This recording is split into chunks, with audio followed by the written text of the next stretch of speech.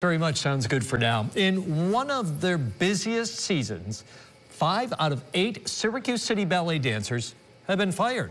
Another one placed on administrative leave after going on strike. News Channel 9's Ashley Cafaro explains why they went on strike and what's next for them.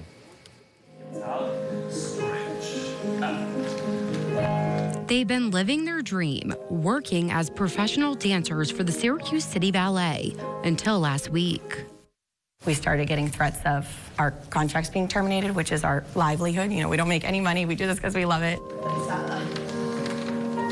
Lucy Hamilton says her livelihood was stolen from her and her dance mates after being fired for going on strike against their current working conditions, impacting their physical and emotional well being as dancers. We tried to voice these concerns to our board of directors, and we were told we are not to go over artistic leadership's head, and um, they even sent out two sets of anonymous surveys where we outlined in detail all of our concerns, and they were never addressed concerns they've had since 2021 after new artistic ownership took over. But they say nothing was ever done, even when the dancers shared their issues and offered solutions. We kind of sidelined it for a while until this past week where there was several instances that led us to feel like we just couldn't work in the studio with this leadership anymore and feel safe and productive to do our jobs.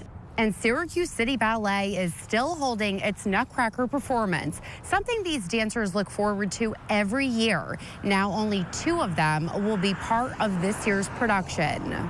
It's really emotional. The only other time all of us haven't gotten to do Nutcrackers during COVID, and it's reminiscent of that, of just everything being out of your control. As for now, they have each other and are going to continue to dance. In the town of Salina, Ashley Cafaro, News Channel 9.